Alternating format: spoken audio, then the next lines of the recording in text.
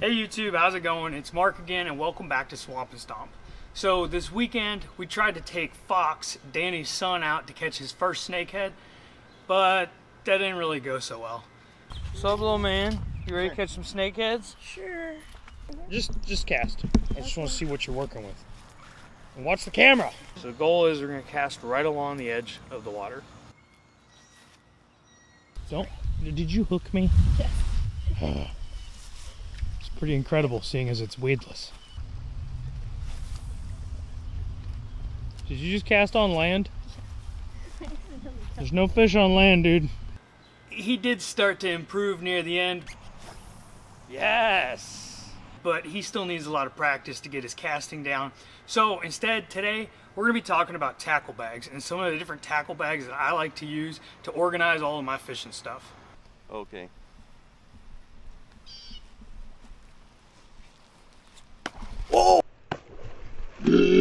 Set, set the up. Yes! Yes! That's a nice one, dude. Don't horse on him. Don't horse on him. It's a snook, dude. It's a snook. Oh my god. Here, hold the hold the don't, don't horse on them. Don't horse. They got really sandy. Ah, damn. That thing was gigantic. Damn. Damn. That was cool. That was unexpected.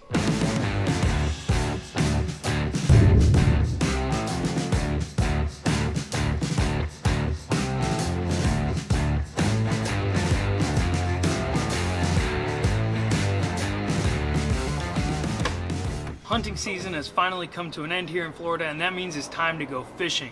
But if you're anything like us, you're still really excited for deer season to come back around. And when that time comes, you're gonna need a tree stand to get after them. And if that's something that you don't have yet, you might be interested in winning one for free. And we're giving away this Summit Viper SD tree stand. And all you have to do to win it is subscribe and check out this video right here for the rest of the rules.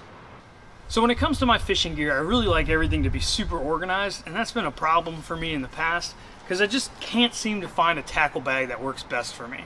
So what's my solution? I have several tackle bags, and I use them for different kinds of fishing.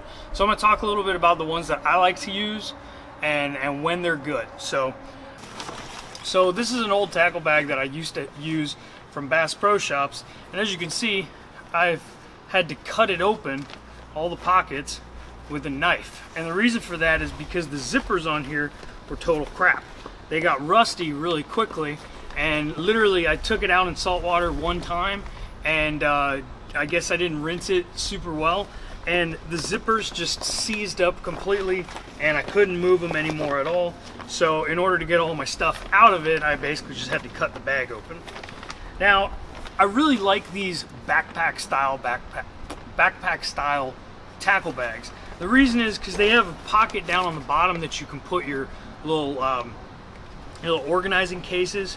Um, but then up top, there's just this like open pocket. And the thing I liked about this is I could put all my lures in there since I, most of the time I'm fishing using lures. But one of the problems I started running into with this is that you just have a pile of different bags of lures in there and when you need to find that one lure you got fish blowing up and you're trying to tie on a lure real quick you can never find the lure that you want. So because of this I started using multiple different bags. So one of the things I really like to use are these Berkley bags and they're basically like a little binder for lures. So you got a little a little pocket in the front and in here you can keep like things like your leaders and stuff like that. You got knife in there, all that stuff.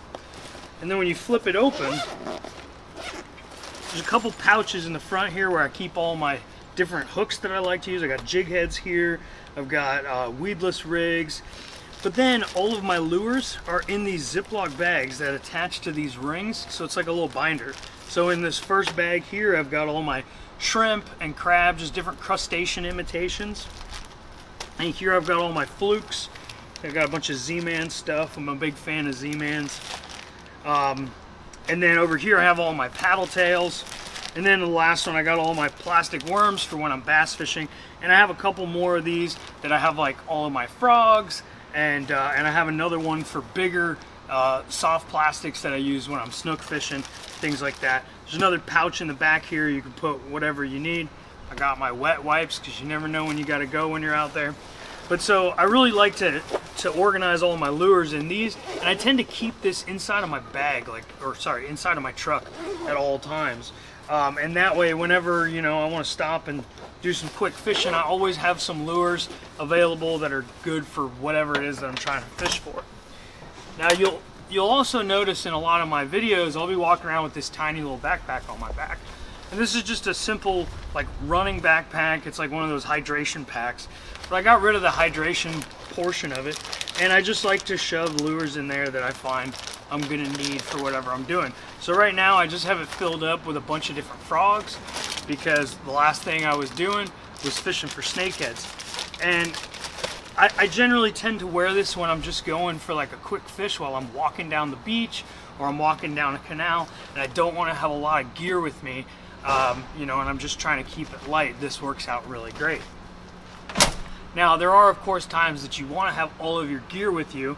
For instance, if you're fishing on a boat, it's pretty easy to just take your whole tackle bag with you, and that's when a full tackle bag comes into play. So as I mentioned, this thing ended up being trash, so I'm getting rid of that one. Now, what I got to replace it is this Bassdash uh, tackle bag. And I'm actually honestly surprised at the quality of the material. It's really good. The stitching's really solid. Um, and I already had a little bit of experience with Bassdash because I randomly bought some of their uh, their waders on Amazon because I, I it was like really hard to find um, breathable waders that were camo uh, for a decent price and theirs sort of fit the bill so I just tried them out and um, long story short, they ended up seeing a picture I posted uh, and reached out to me to ask if there was any other gear I'd be interested in uh, testing out. And I said, you know, I'm looking for a good tackle bag, so I'll get one of these. They gave me a great discount on it. Um, so I'm just checking it out, and I just wanted to let you guys know that they did give me a discount on it, so you know that, like, I'm, you know, being as honest as I can here. Um, but honestly, you know, it's just, it's a pretty cool bag. It's got a lot of amenities that the other bag did not have. For instance, there's, um, there's like a rain fly in this back pouch and you can wrap this around the bag. So when it's going to rain you can keep your stuff dry or if you're running out in rough conditions there's going to be a lot of splash. Uh, you know you can keep your stuff dry. There's a little pouch up on top. You can put all kinds of little things in. And then uh, way up on top of that, there's even a little pouch, a little hard case for putting your sunglasses. It's padded on the bottom, it's hard cased on the top. Keep your sunglasses safe. Uh, just like the last bag that I had, it has this uh, this big pouch up top, and you can just fill this up with whatever you want. Right now, I just have like a bunch of really big soft plastics. These are like my snook lures, um, and then I just have a bunch of different leaders and things like that. But what's really cool about this top pouch is it's actually padded and there's some foam in there. So you could actually use it as a cooler. You could put some beers in there. I mean sodas, uh, you know, keep some sandwiches cold and things like that. Um, and then aside from that, this thing has so many different pouches. So it's got these little Velcro uh, straps on the side here. You can put your uh, your fillet knife or your pliers or something on there. There's like pouches down the side. You put all kinds of stuff in. I haven't even explored all the pouches. There's so many of them. Um, little mesh pouches on everything. There's a bigger pouch up in the front here, keeping my uh, wire leader in there for when you're uh, offshore and you're dealing with some of those toothy critters. Um, let's see what else we got. I got pouches here and again on the side here. So lots of storage space, lots of ways to keep your stuff separated. There's some uh, there's some webbing right here. Um, and uh, you can like clip things off onto that if you wanted to. And then there's another pouch up on the front here. Um, but behind that pouch, you can open this up and you've got storage for all your little tackle boxes. So in here, you know, I keep, uh, this is my box that has like all my hooks and weights in it. So in case I do end up doing some bait fishing, uh, you know, it's good to have that around. And I don't really tend to do much bait fishing when I'm, uh, when I'm not fishing on the boat. Uh, here I've got all my hard plastics. Again, I don't really use hard plastics a whole lot, but every now and then it's really great to have them. So, you know, put those in there. Then I've got another box right here that has like all my jig heads and different like lure hooks, like weedless rigs and stuff like that. Got a few different like DOA shrimp and things in there. So that I'll use that to replenish my, my other bag if I start to run out there. And you know, another thing, a hard plastic. So lots of storage space there. You can fit four of those standard size little tackle boxes in there. And then there's even extra space on the bottom here. Now this bottom is actually hard um, and it's like a little tub. So if you're setting it down uh, and your boat gets some water in it, uh, this is actually going to keep the inside dry. You know, it can get about like an inch and a half, two inches of water before it actually starts to go into that pouch.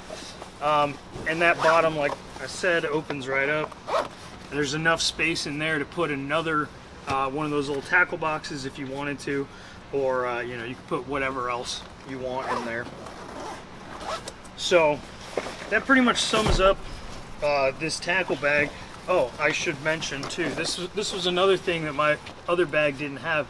These straps here, pretty solid and everything, but they actually have one of these uh, chest straps, and that's really important to me because, as you guys have probably heard in several other videos, I had shoulder surgery, so it's really uncomfortable for me to have backpack straps pulling like on the edge of my shoulder. I like to pull them into the center, so it's kind of going down my chest.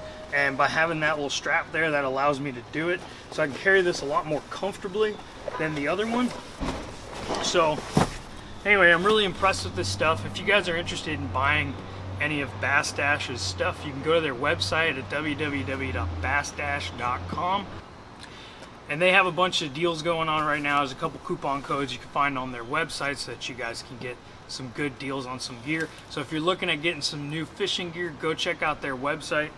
And um, with that, just want to wish everybody tight lines for the rest of this quarantine. And thanks for tuning into this video. If you haven't subscribed yet, make sure that you do that now, right here. If you want to check out some of our other videos, they're somewhere around here. Uh, thanks for watching, guys. Have a good one.